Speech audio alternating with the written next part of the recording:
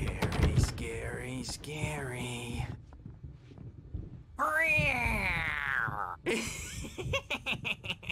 Emerson.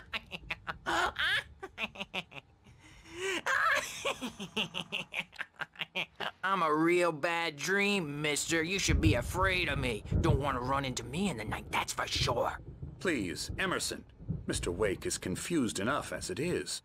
Yeah, you'd like me to go away so you won't be scared. But you can't just decide what kind of dream you have or when you have it. Emerson, Okay, okay, sorry, sorry, sorry. Boo.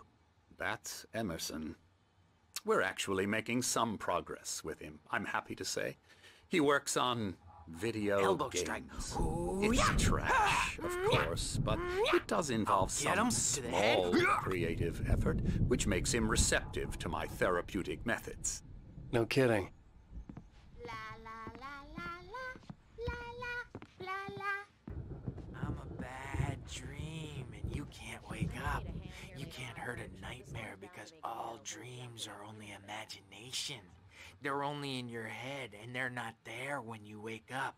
So you can't wake up because I'm in charge now and I don't want to disappear. My nightmare is the publisher people who want to make a contribution so they can say they made a contribution. And then we end up with mullets in there because they think mullets are funny, but it wasn't supposed to be about mullets. And now it's about mullets. And when it's in slow motion, they call it mullet time because the numbers came back from marketing that mullet time is the hook we needed to go big in the target demographic.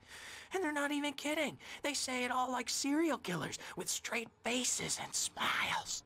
My nightmare is the writers who want to make everything from the characters to the toasters talk, talk, talk all the time and express their feelings so they won't shut up. And the writers won't shut up either because they have feelings too. And I have to listen to them because they're not scared of me. And everyone should just shut up, shut up, shut up. But I don't see nightmares anymore because I'm too scary for them. I take two pills every morning and one with every meal and four when I go to bed. And that makes me the scariest nightmare of all.